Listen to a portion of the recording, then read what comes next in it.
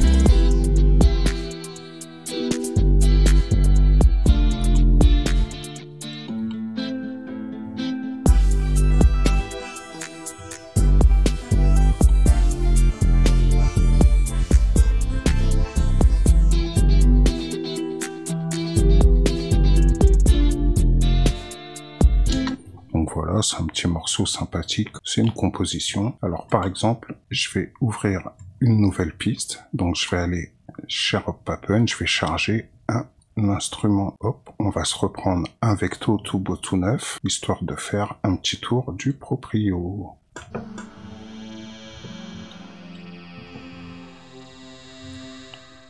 Donc, comme tous les VST de chez Rob Papen, ici on va avoir le Bank Manager, donc avec énormément de presets, il y en a un peu dans tous les styles. Hein.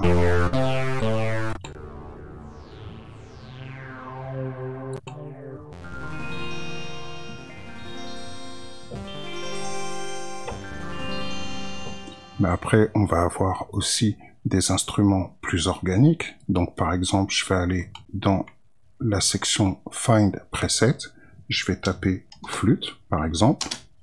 Voilà, là il m'a sorti différents types de flûtes.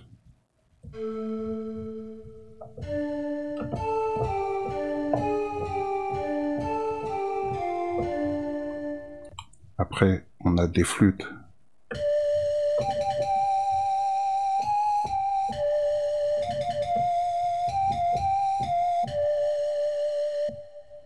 Voilà.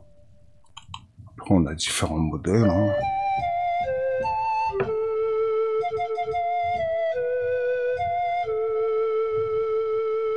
On va avoir aussi des presets MPE pour ceux qui ont des claviers qui supportent la norme. Bref, il y a vraiment énormément de choses avec lesquelles on va pouvoir travailler. On a la possibilité de directement mettre en préférence, grâce aux étoiles, des presets qui vous plaisent.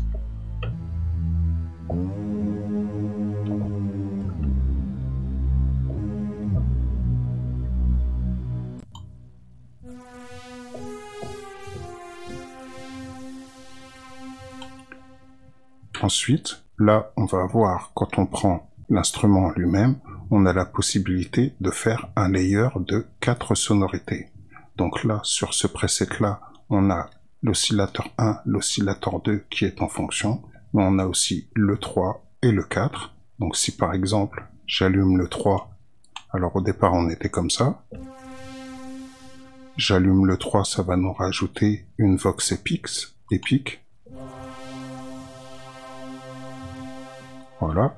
Donc à chaque fois, vous allez pouvoir choisir différents types de sons que vous allez pouvoir intégrer à votre oscillateur. Donc on a des sons analog wave, additive wave, spectral, sample, donc euh, basé sur des instruments réels. On a différentes catégories de samples, ça va de 1 à 5. Ensuite, on a des percussions, des FX, bref, il y a vraiment tout ce qu'il faut pour s'en donner à cœur joie et faire tout type de son. Ensuite, au milieu, ici, on a euh, la possibilité de créer des modulations. Donc, par exemple, là, si je tape sur Record et que je crée un cheminement, dès que je vais faire Play et que je vais appuyer sur une des touches, voilà, ça va resuivre le cheminement. Bien sûr, sur l'axe X et l'axe Y, à partir de la matrice de modulation, sur l'axe X, je vais pouvoir affecter un filtre. Sur l'axe Y, je vais pouvoir affecter un autre élément. Donc à chaque fois, il faudra choisir la source. Donc là, par exemple, soit le X, soit le Y. Et ensuite, vous choisissez la destination qui va être parmi tous les éléments qu'on a dans le synthétiseur. Donc ça va très loin. Hein. Sur un oscillateur, on peut quasiment tout automatiser. C'est vraiment une collection de VST qui est assez hallucinante et extraordinaire. Ensuite, on a une partie effet. En cliquant sur les fenêtres, on peut intégrer différents effets, donc FX1, FX2. Après, on a la partie filtre avec son enveloppe, l'enveloppe générale et le volume du son le play mode ou la façon dont on va jouer. Donc là, par exemple, on est en polyphonique. On peut mettre polyphonique MPE pour ceux qui ont les claviers, mono, mono LO, high, ligato, enfin bref, arpégiateur. L'arpégiateur est juste en dessous. Une fois que vous vous mettez en mode arpégiateur, il n'y a plus qu'à sélectionner la façon dont il va jouer. Là, on a les enveloppes, enveloppe 1 et 2, et enfin LFO 1 et LFO 2. Donc là, on a vraiment tout ce qu'il faut pour pouvoir générer différents tubes de son. C'est un synthétiseur assez complet avec lequel on va pouvoir faire pas mal de choses. Donc si vous intéresse, moi je vous conseillerais d'essayer d'aller voir un peu. On va revoir. Euh. Donc là par exemple c'est un, un, preset de choix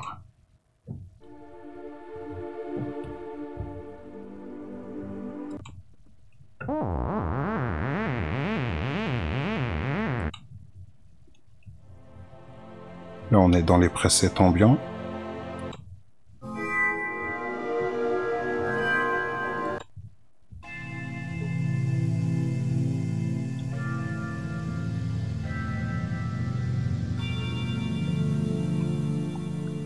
Après, on a des basses aussi. Hein.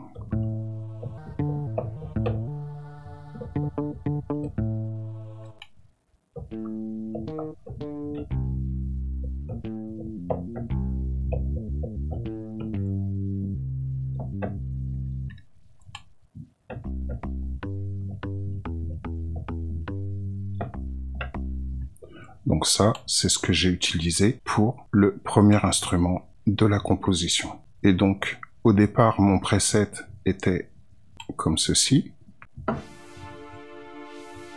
Et moi, grâce à l'affectation des pads XY, j'ai rajouté un effet pour donner du mouvement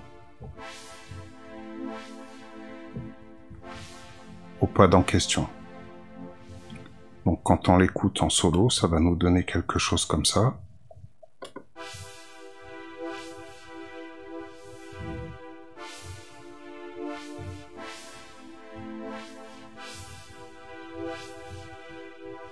Donc ça, c'est cool, assez fun. Bref, il y a de quoi faire. Donc ça, c'est le vecto.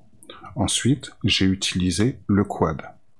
Donc par rapport au quad, cette fois, j'ai fait directement euh, une sonorité de piano électrique qui donne ceci.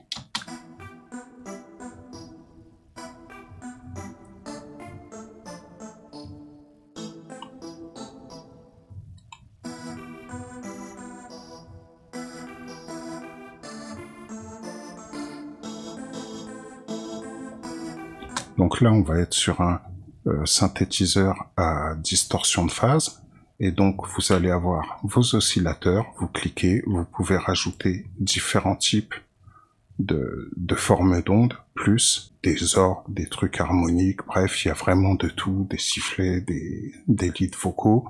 Pareil, quand vous cliquez sur la partie manager, vous avez une banque de sons qui est littéralement énorme et il y a grave de quoi faire. Le quad, je l'ai laissé tel quel.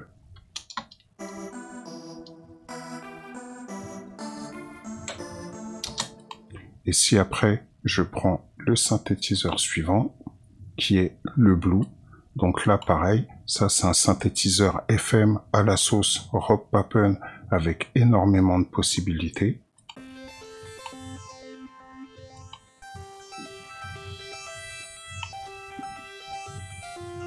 Et dessus, justement, j'ai utilisé le Delsane. Donc si je coupe l'effet, au départ, le preset était comme ça.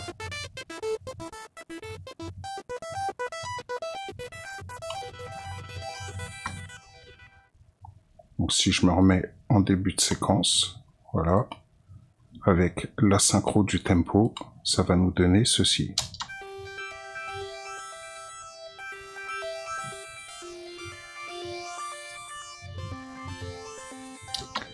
Donc en fait, le Delsane, ça va être un délai hyper créatif avec lequel vous allez pouvoir jouer sur énormément de paramètres.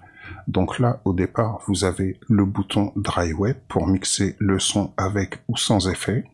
Vous avez le délai de l'oreille gauche, le délai de l'oreille droite, le feedback, un crossfeed. Ensuite, on a un vogue fréquence, un wowel. Donc là, pareil, à chaque fois, vous allez pouvoir jouer. Donc là, je suis passé en E, O, A, bref, à chaque fois, rien qu'en manipulant la molette, vous allez pouvoir changer euh, l'effet que ça va donner sur le son. Ensuite, on a fréquence shifter qui va nous permettre aussi de modifier le son. Et enfin, le stéréo amount.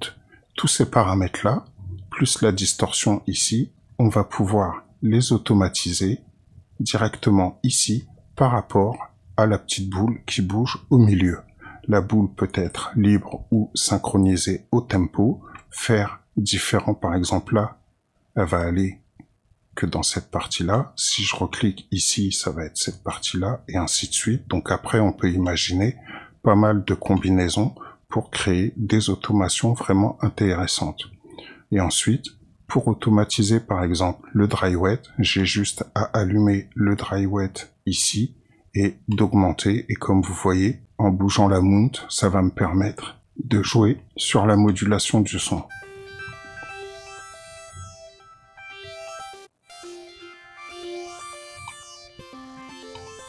Si j'ai envie de jouer sur la distorsion,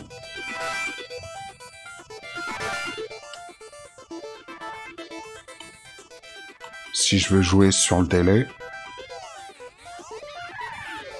Donc là, ça va jouer sur les paramètres ici.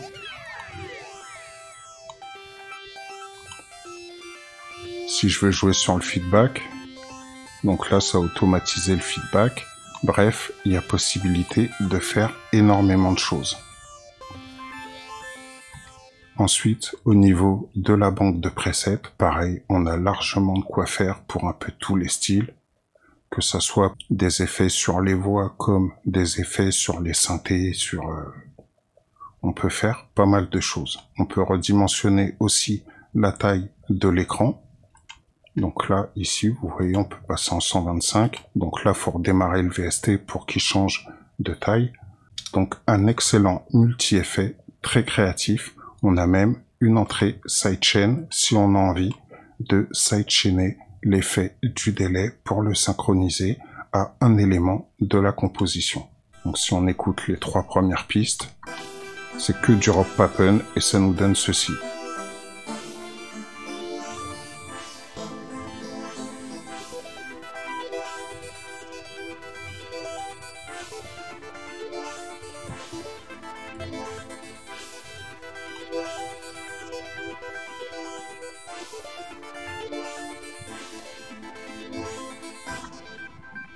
Voyez, on peut faire des choses assez créatives et les synthés sont vraiment faciles à utiliser. Ensuite, j'ai mes différentes guitares.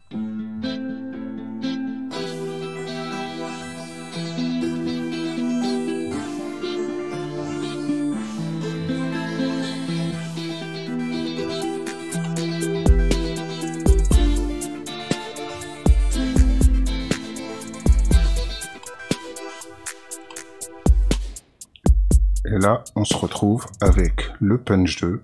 Donc, c'est un sampler drum machine qui va nous permettre tout simplement de créer nos propres drums ou d'utiliser des samples. C'est un peu comme on en a envie. Par exemple, sur le premier pad, j'ai utilisé un kick modélisé. Donc, c'est-à-dire que le son a été créé directement à partir du générateur de kick interne logiciel. Et mon deuxième kick, lui, j'appuie sur le petit crayon, vient d'un sample.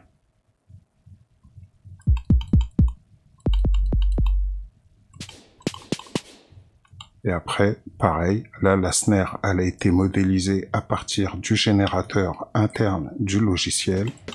La snare 2, elle vient d'un sample. On peut combiner les différents types de synthèse et sample pour se créer un drum kit vraiment comme on en a envie. Et ça donne des résultats assez bons.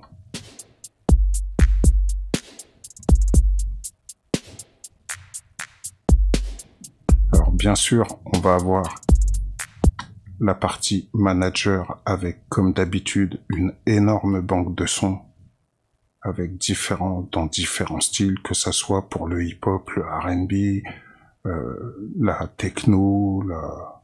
il y a vraiment tout type de sons. Donc ça, j'avais déjà fait une vidéo sur le Punch 2, vous pourrez aller voir dans la playlist Rob Pappen. Je suis rentré pas mal dans le détail et dans l'exemple, j'avais même utilisé un sample mélodique que j'avais slicé à l'intérieur du Punch 2. Donc en fait, au lieu de l'utiliser sous forme de boîte à rythme, je l'avais utilisé comme un sampler traditionnel. Vu qu'à chaque fois que vous créez un slice, le slice à la fin, une fois que vous avez fini, chaque slice va être affecté à un pad et donc affecté directement à vos touches de clavier. Donc c'est vraiment un excellent outil, hyper puissant, avec, pareil, tout ce qui est équaliseur, filtre, compresseur, limiteur directement à l'intérieur du VST. Mais là, dans mon mix, j'ai quand même rajouté sur mon kick, j'ai utilisé une sortie séparée pour pouvoir extraire le kick.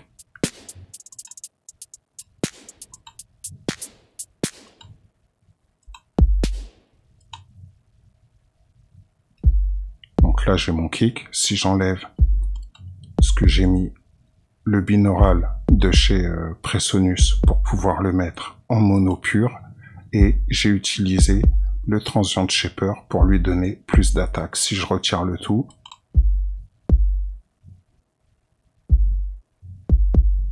là naturel et là avec les VST. Et ensuite sur le bus de drum,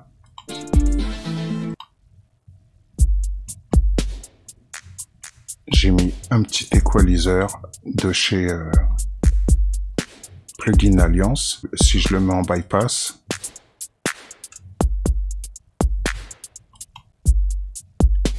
voilà, ça va nous rajouter euh,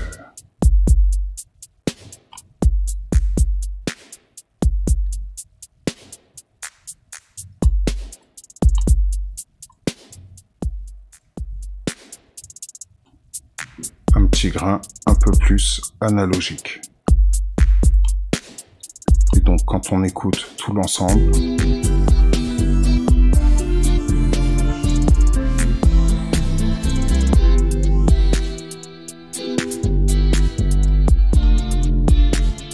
Après, vu que j'ai utilisé des hi-hats qui viennent du punch, j'ai aussi utilisé des hi-hats que j'ai créés directement euh, avec le sampler de Studio One, le sampler One XT. Donc lui qui va donner ceci. Donc là, on a les percs et les claps. Et ensuite, on rajoute le kick et la snare. Avec le RP verbe sur la snare.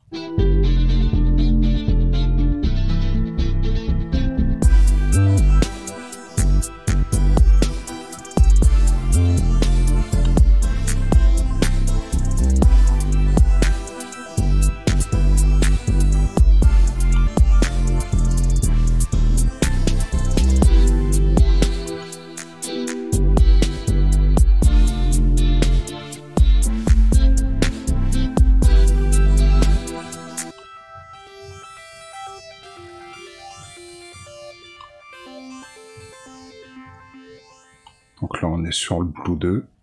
Il donne vraiment un très très bon son et on peut faire pas mal de choses avec ce VST.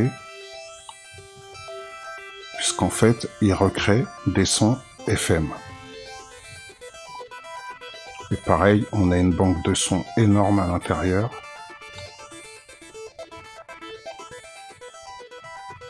Donc tout ça, ce sont des pages avec plein de presets dedans.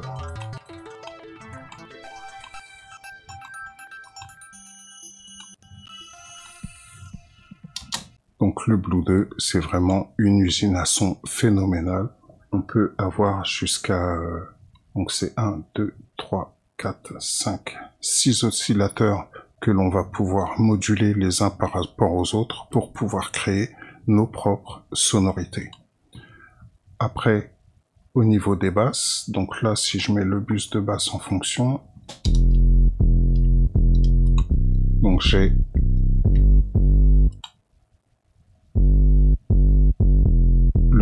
VST The Sub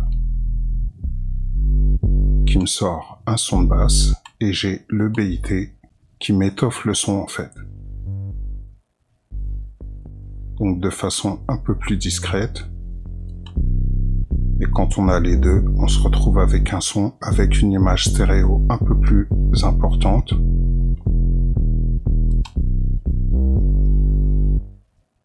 Et au niveau effet, j'ai utilisé un compresseur avec le kick qui sidechain. Donc si je mets le kick en marche,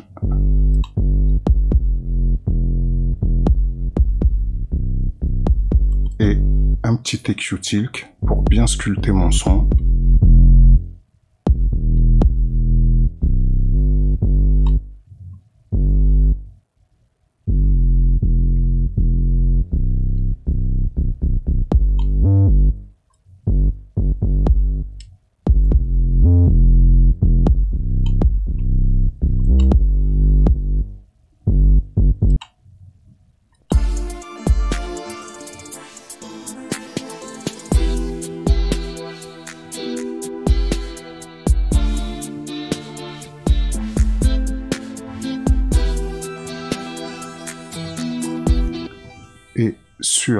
De guitare, j'ai utilisé le finisher Voodoo pour donner un petit grain euh, au son de guitare. Donc si je l'éteins,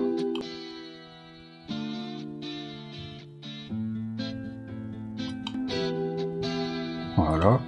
Et j'ai utilisé aussi un des nouveaux VST intégrés à Studio One c'est tout simplement une émulation du porte à cassette de chez Tascam. Donc si je le coupe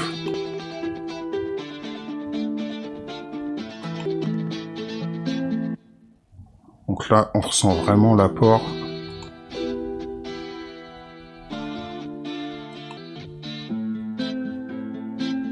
On a l'impression que l'enregistrement est légèrement détuné. Bref, ça donne un très très bon style.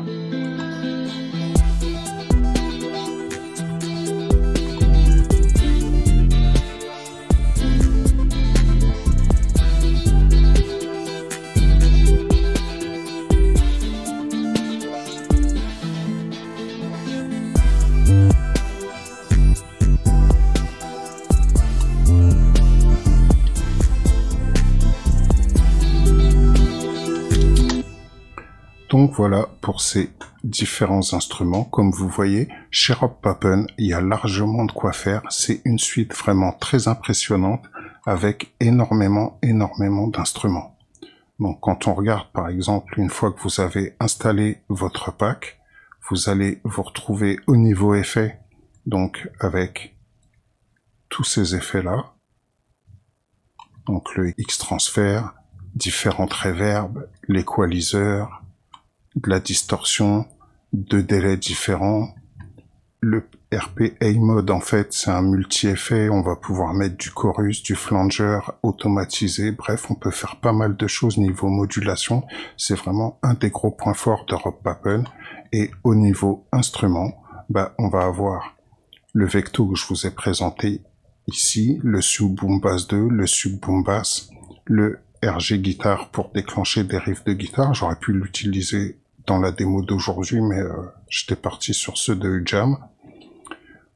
L'Eurokick, donc là, ça va être plus pour la, la musique électronique, euh, type dubstep, tout ça. Là, on peut vraiment faire avec l'Eurokick des kicks euh, assez énervés.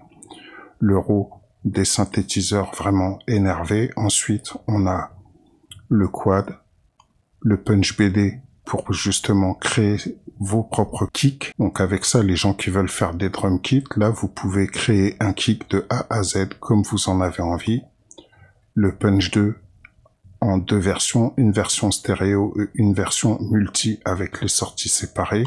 Le Prisma, c'est un VST qui va servir à rassembler les différents VST de chez Rob pour créer des sonorités à partir de plusieurs VST de la collection. Ensuite, on a le Predator 2, le Predator 1, le GoTo, le Blue, le Blue version 1, le Blade version 2, le Blade version 1 et le BIT, excellent synthétiseur d'émulation analogique. Donc j'espère que cette petite visite dans le monde des VST de chez Rob Papen vous aura plu. Il y a énormément de possibilités avec. Allez faire un tour sur la playlist Rob Papen de ma chaîne j'ai déjà décortiqué pas mal des VST qui viennent de la collection. J'espère que la vidéo vous a plu. Si c'est le cas, laissez des commentaires. N'hésitez pas à mettre un petit pouce vers le haut. Et moi, je vous dis à bientôt pour un nouvel épisode des ABC du beatmaking. Salut, salut